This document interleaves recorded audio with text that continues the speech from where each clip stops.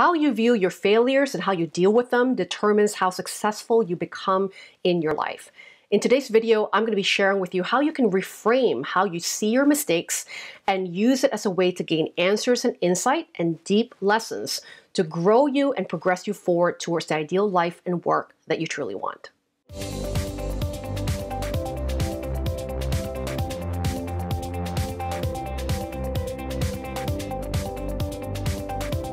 Escape the 9 to 5 and create your path to freedom.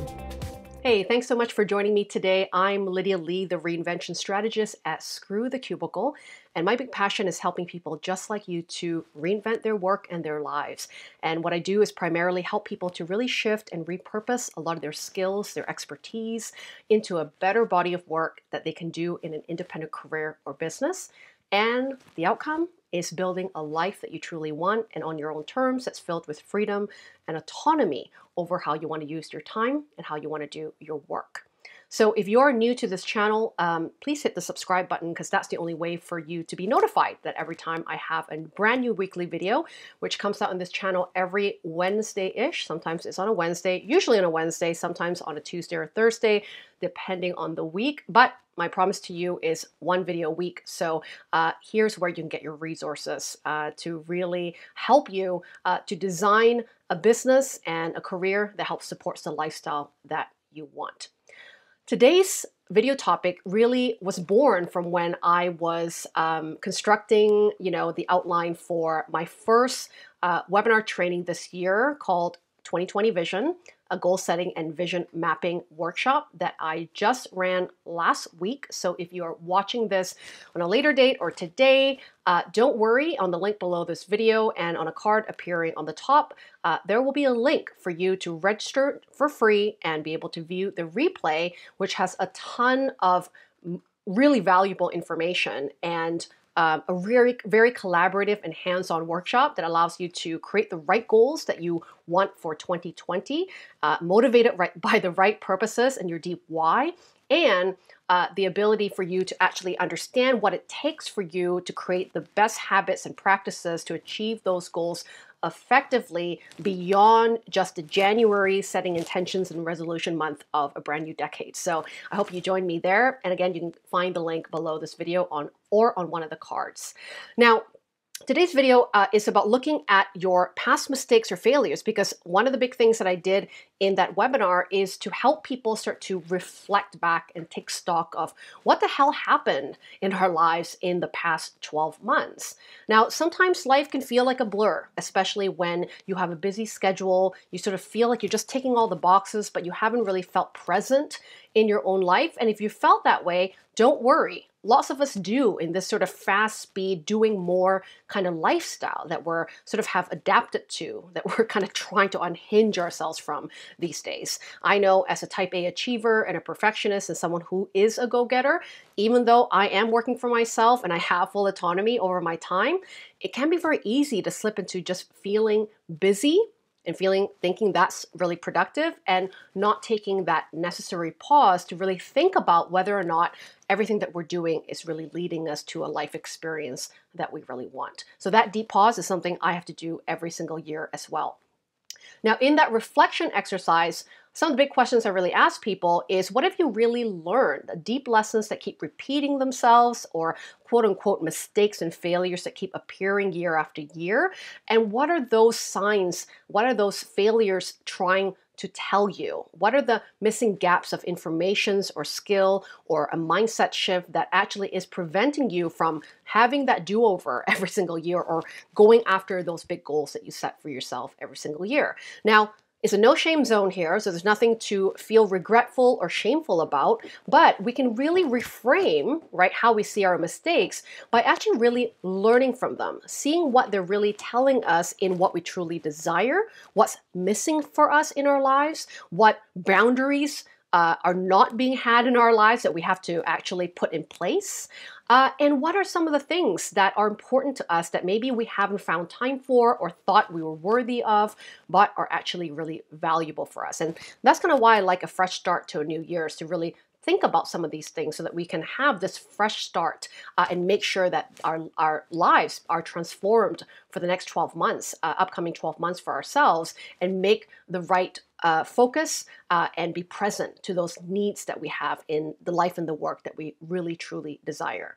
So there are really a lot of answers uh, in our challenges. So whatever challenges you've um, gone through. So for me, I'll share it right now, um, and please feel free to share under the comments as well for yourself so we can know that we're not alone in dealing with some of these obstacles and challenges. Um, one of my personal challenges that I faced last year, which I wrote in length about uh, at my 2019 recap blog, is that I suffered from an immense depression uh, and chronic anxiety, which I've had in my bloodline for many years that come from my mother's side. I love you, mom, if you're watching this, but we do have a very high strung personality type on my mother's side of the family. And I've also tend to have taken a bit of that, that sort of pressure and the weight of the world on my shoulders and feeling like I can't screw it up in order for me to be successful. So I've been learning a lot about letting go of perfectionism and letting go of just you know, and actually just embracing being good enough um, every time I release anything new, right? Or do something new with my life without judgment. So one of my personal challenges has been dealing with anxiety and depression. And you, I could totally just like, F you, depression for screwing up my first three months of 2019. But in hindsight, you know, a lot of what I've learned through uh, going through that depression was how important uh, self care is in my life and not just a buzzword, but what it actually meant for me was a lot more around the sort of critical mind that I have in my head, the biggest judge of all, inner critic that I have uh, that makes life more miserable for me than it should be. Uh, and those were the sort of inner demons that I have to face, which allowed me to see that self care wasn't just bubble baths and taking a break at times. It was changing the way that I was talking to myself, changing the kind of language that I used for myself to feel successful in my life and in my business. And more importantly, um, all the things that I thought were my sort of gifts, which were things like multitasking and being able to do lots of things in a 24 hour span of time, wasn't actually really healthy for me. I was sort of proud about that for many years that I could do five big things in a, in a working day, but that actually contributed to my feelings of burnout and my feelings of just um, you know, feeling depleted and de-energized uh, at, at the end of the last year before that in 2018, right, which was what birthed the entire depression and chronic anxiety uh, signs to begin with.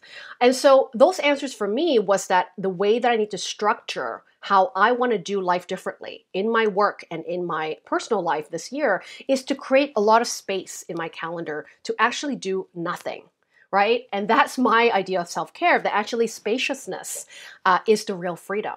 You know, not trying to put more things in my to do list just because I can, but actually to enjoy what I've built. You know, enjoy what I've what my whole intention was to be a business owner, right? Which was to create time and space for friends and family, but also for myself. So that allowed me to do something very tangible this year, which is to actually have great boundaries to say no to a lot of projects that I was about to do and actually really pick, cherry pick the right ones that suit the kind of theme that I want to represent this year for my life and my work and stick to those things and do those things, those small, tiny things really well in order for me to feel right in my work and in my business.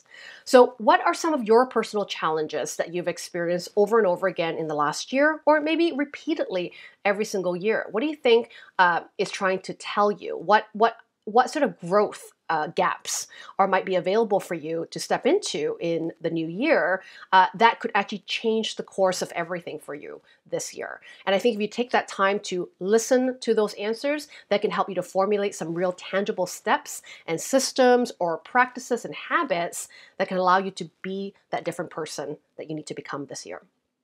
And the note that I want to give you here too is that when we look at mistakes, a lot of times we look at um, feeling that we're not capable to do something better. Because a lot of what we see out there, again, in the internet world, is everybody's successes without the warts and the wrinkles. You see the success stories over and over again. Uh, and I hope that anyway, from what I share in, the, in this channel, also shares a lot of the back story of things that actually all of us are human all of us make mistakes and all of us uh, fuck up sometimes and that's all right. Because the more you fail, the more you are actually on the right track to your success. Nobody I know, and I'm sure you've read that somewhere before, that nobody that's ever been successful has never failed more than they have actually won. So in summary, failure really builds your sense of resilience. And resilience was one of the biggest lessons I've learned in 2019. That is the biggest part uh, that helps me to be sustainable in all the things that I want to achieve in my life and my work. Because when we're able to build resilience, that, help, that helps us to keep persistence towards some of the big goals that we have in our life. And so our ability to really bounce back from defeat is really crucial to our uh, success and failure really gives us this opportunity to build that resilience. So embrace that and take that pause instead of beating yourself up and ju- judging yourself to say, oh, that's interesting. I kind of went a route, I tried that route. I probably would have tried it again because that felt right for me at the moment. I trusted my gut. And this is just opening up a new door of new answers. You haven't gone the wrong way. You've actually just deepened your understanding of your own problem and you're actually building more room for clarity that can actually get you to the right answers uh, in due time if you persist towards that path. So, the gift of your failures and your mistakes is that it's going to force you to rethink, reconsider, and maybe restructure your resources, right? That may be available to you to do something better. It's really a better way to get to your goal. That's how you can really look at it. Because in every time that we have we make a mistake or we feel like that we failed at something or truly have failed at something, we have new data. We have new evidence of what better solutions or resources or skills that we need to actually acquire in order for us to achieve our goals more effectively and more meaningfully. So Embrace that every failure, there are insights and deep lessons learned. If you choose to see them that way, you will never regret any of your failures because you're going to be growing yourself as a person and you'll be growing your skill sets to be able to uh, build your resilience and build your strong lion heartedness of your person to be able to actually take on new challenges um, and bigger goals in the near future. So, I would love to hear from you. What are what's what's one of the biggest things that you've learned from reflecting on your year in 2019? What particular failure kind of keeps you up at night a little bit? And how would you love to reframe that as a lesson learned to grow you as a person and progress you forward towards a fresh vision for your life in 2020? Please share with me below this video. I would love to hear it. Um, and I hope that this video resonated with you. Thank you again for joining me for this week's video. We have a new video coming up every single week, and your feedback is always appreciated from me. I take on all your questions um, to heart and I create videos according to your questions. So here's your opportunity to leave me a comment on what would you love for me to create a video, um, a, a, topic video for you, and maybe I'll dedicate the next video to you. So please share that with me. Uh, and I hope you got something uh, powerful out of this video and share with somebody uh, that you may know that could really benefit from watching this as well. Thank you for joining me for this week's video of Screw the Cubicle TV. I will see you next week. Ready to work for yourself but have no idea where to begin? I'll show you how. Learn how to create a self employment plan with work you can love with the Work Reinvented course. It's time to stop wondering if there's a bigger, more meaningful way to enjoy your life and work. There is.